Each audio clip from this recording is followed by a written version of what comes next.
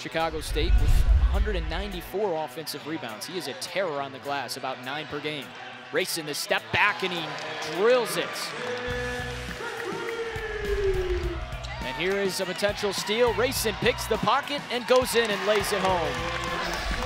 10 seconds on the shot clock for Chicago State out of the first media timeout. This is Dixon with five. Gets it over to Palmer who launches and fills it up. Here's the drive from Keene. Nice pass. And Meyer with the slam. No points yet for Marcus Keene, the nation's leading scorer, but there's a terrific pass across court, and Josh Kozinski makes Chicago State pay. And the other way we go with Maddie Smith, the freshman out of Elgin, Illinois. Good ball movement, Kozinski again. That three-point play stopped a 12-0 run as Keene's open, and he buries the three.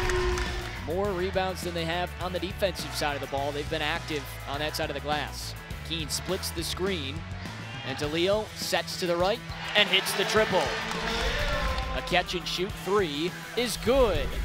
Well, they're averaging just seven threes a game, but they've hit five already, five of 11. Keene, a tough shot, and he gets it to go. DiLeo is left all alone and drains it. Rayson a step back. Yes. And that's kept this a close game.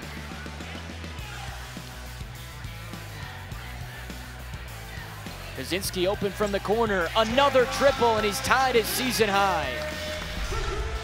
They've knocked down eight three-pointers, shooting 57% from behind the long line. Sims off the cross, he'll pull.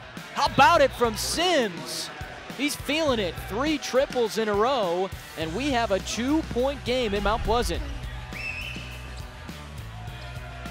Good pump fake and drive. The tier floater is up and good, and we're tied.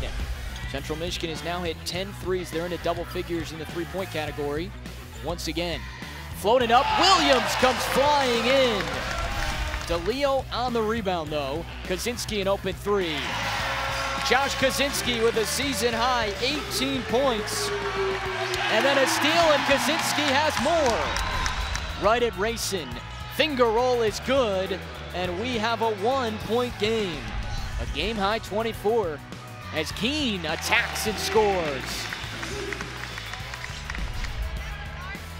Four points now for Palmer in this second half. Keene off the cross. Good dish to Leo, wide open. Bang! Rayson a tough shot. Hangs and it goes down.